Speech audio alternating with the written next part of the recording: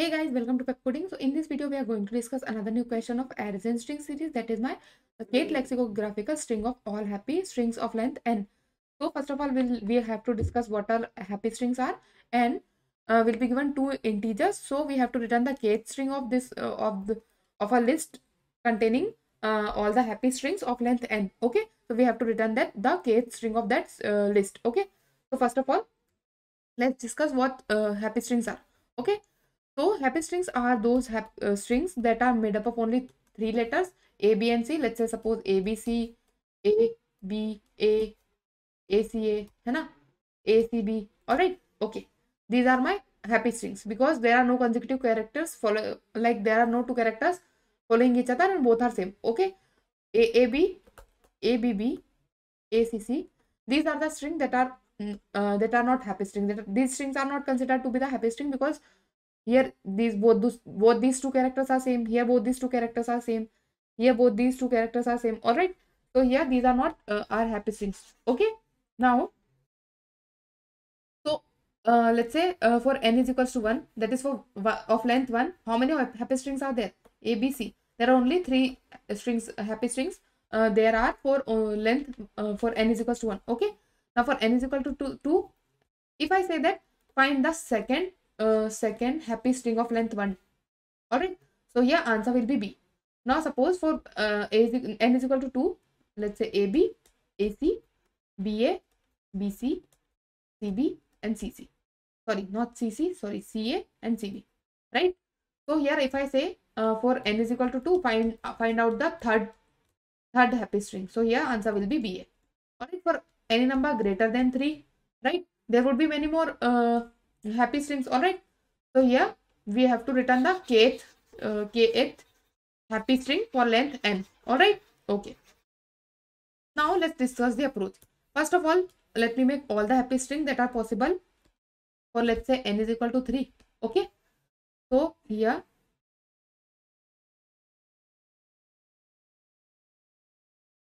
uh, a b c or okay a b and c uh, all the happy strings of length? 1 okay. Then here at this point at this point both of these have this a cannot have a string that that is followed by a right? So we have here we have only two choices. These we have only two choices because it cannot have a after b. It cannot it cannot have b after b right? So say it can have only a and c after b. Here also similarly it can have a and b after c right so here happy string will be AB, AC, BA, BC, CA, CB. N is equal to 2. These are uh, all the happy strings of length 2.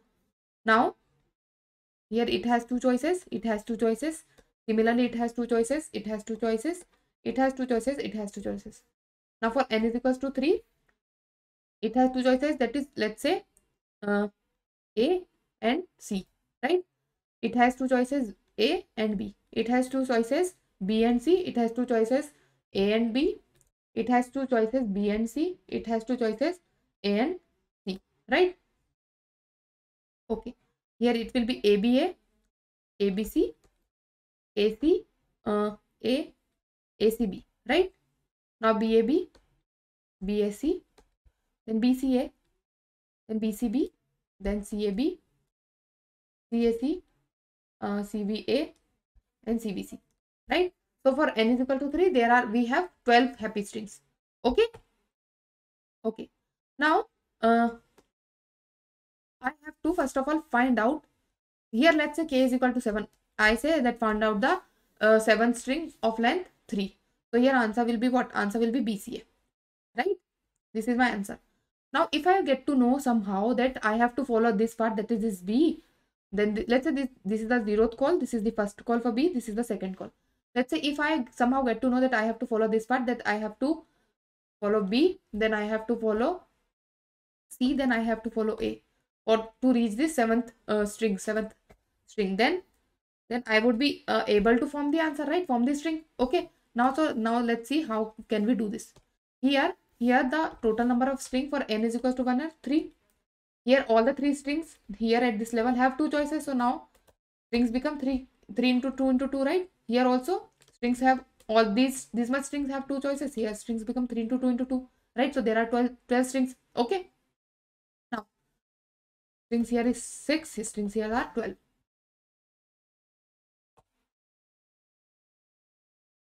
okay. Now here let's check. Here here all the strings are 12 okay. So if i divide this 12 by 3 because here we have these uh, 12 strings are made up of three characters. So here if i divide by 3 it gives me 4 that is these strings are divided in the part of 4 4 right?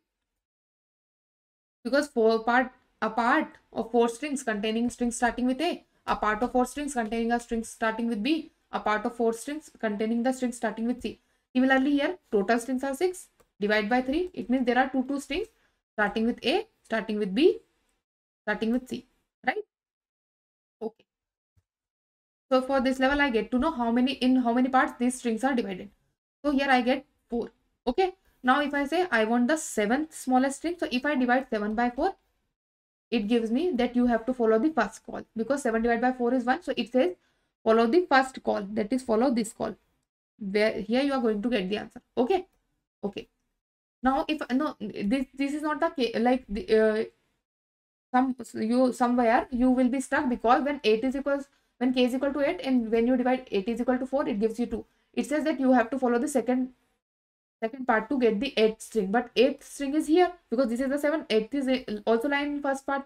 So you have to divide first of all uh, you have to decrease k by 1 okay? First of all you have to k minus minus. Decrease the k. So first of all you are going to calculate the total. That is initially your total will be equal to 3 for this n is equal to 1 and after that you are going to run a for loop for till n minus 1 because n here is 3 so you have to run loop till 2 times.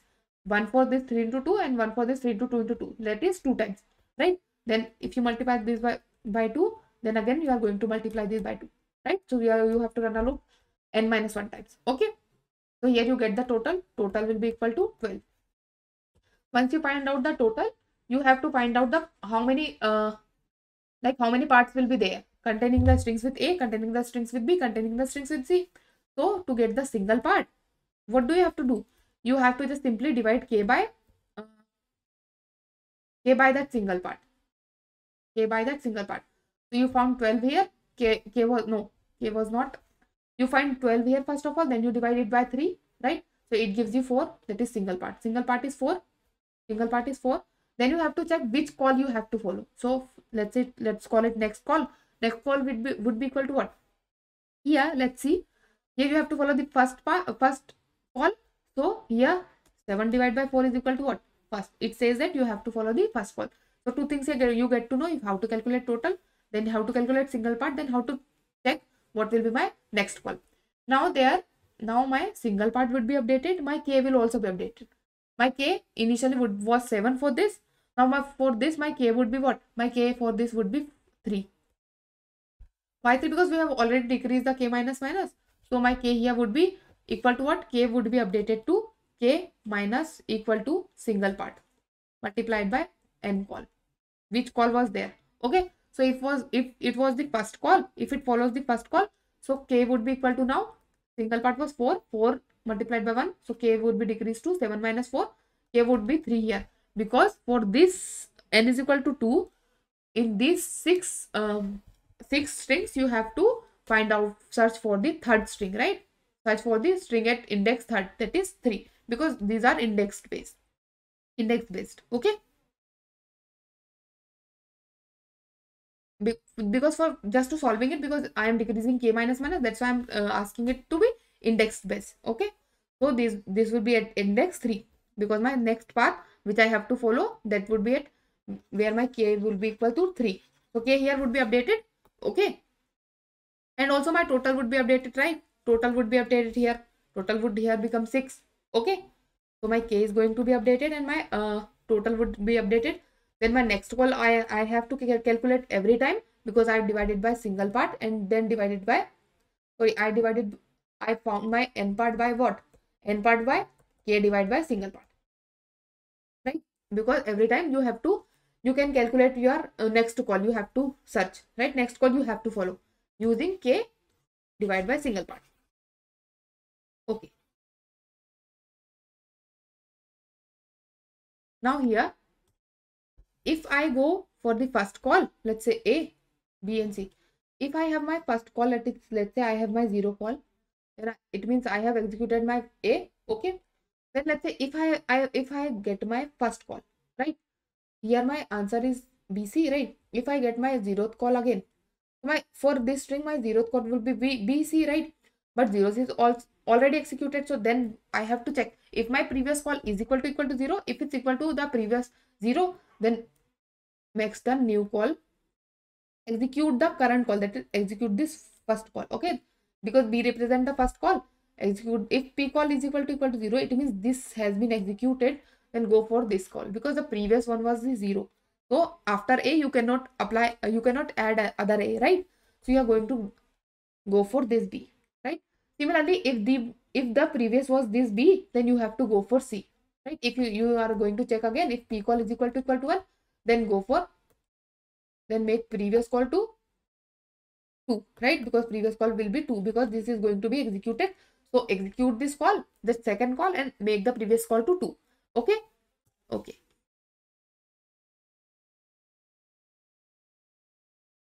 So here now, first of all, we are going to calculate total. Then we are going to run a loop while n is not n does not become equal to 0. Okay. Then we are going to calculate the next call every time. And then we are going to calculate the single part also, right? Because the single parts are changing here. Here it's 4, here it is 2, then here it would be 1 right? Okay. So now let's write some code. Initially for the first level we know that our total is equal to 3 then you are going to calculate for int i is equals to 1 till n minus 1 right? I plus plus. Total is increasing by 2 every time. Total is equal to 2 EOT okay. Now here there is a case there is one more case that when my k is greater than total then you have to return empty string. What does it say? Let's see. When my k is greater than let's say here total is 12 and i ask my 13th string 13th string. I say that give me the 13th string of length 3 but of length 3 we have only two 12 string so i cannot give this answer right? So i'm going to check if my total is uh, k is greater than total then return an empty string so if k is greater than dot, return empty string. Alright. Okay. Now you are going to run a while loop for your all of your levels. Right. When n is greater than 0. Here you are going to make a string answer string. First of all, let's make a variable previous call which is initially equal to 0 for minus 1. Okay. 0 for minus eh, which is initially going to be minus 1 for 0 then you have next call which we don't know we are going to calculate it. Then you have the answer string. Answer which is initially equal to empty string. Then you are going to calculate. Then you are going to have no nothing then nothing. Here here you are going to calculate your single part first of all int single part which would be equal to what? Single part is equal to what? Total divide by your uh, single part total divided by calls calls initially would be equal to 3 so let's say i told you that if you divide 12 by 3 then you get the single part which is equal to 4 right? Int calls is equals to 3 total divide by call then you have to calculate the new call. You have to check with what is going to be the next call. Next call would be equal to what? Next call would be equal to k divided by single part right? See here? K here was 7 7 divided by 4 gives you first one. It says you have to go for the first call first of all. It means you have to append, append b to the answer. Then here k changes k changes. K becomes to 3 k become equal to 3 then you again check. K divided by here what is total? Sorry what is the single part? Single part here is 2 so 3 divided by 2 is what? 1 1 so from here you again have to go for the first call. This is the 0 this is the 1 then it says append c so it becomes bc right? Then for here also it says go for the 0 call because we are going to update k again here. So k reduces to 1 here. We'll see here okay? Then you here you are going to go for the uh, zeroth call okay? That is for a so n is n next call is will be equal to k divided by single part. Now you have to check if my next call is of 0 0 is of 0 then you have to check if my previous call was 0 if let's say if my previous call was 0 if the previous call was 0 then go for the next call. That is execute the first call then. Uh, leave the zeroth call go for the first call and make previous call to be 1 otherwise go for the zeroth call itself because 0 was not executed and make the previous call to 0 or else, else if new call is equal to equal to 1 if new call is equal to equal to 1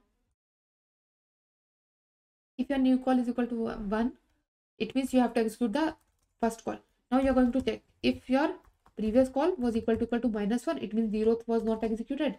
Or your previous call was equal to equal to 2 it means now you can execute the first call so you are going to make the previous call to 1 previous call will be equal to 1 otherwise make the previous call equal to 2 because you cannot execute the first call.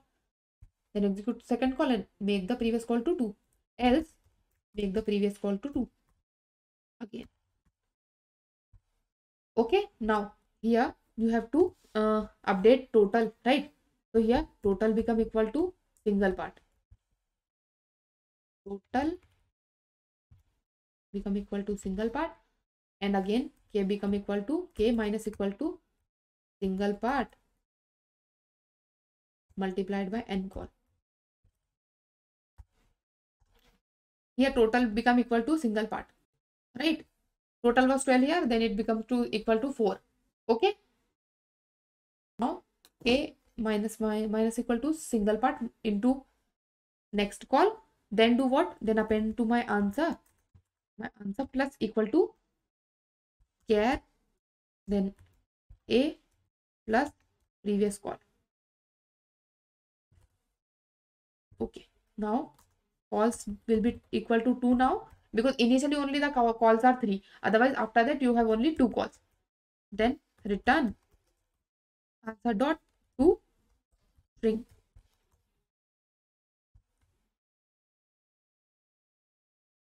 okay now let's try to run this. String answer is equals to okay it would be capital s.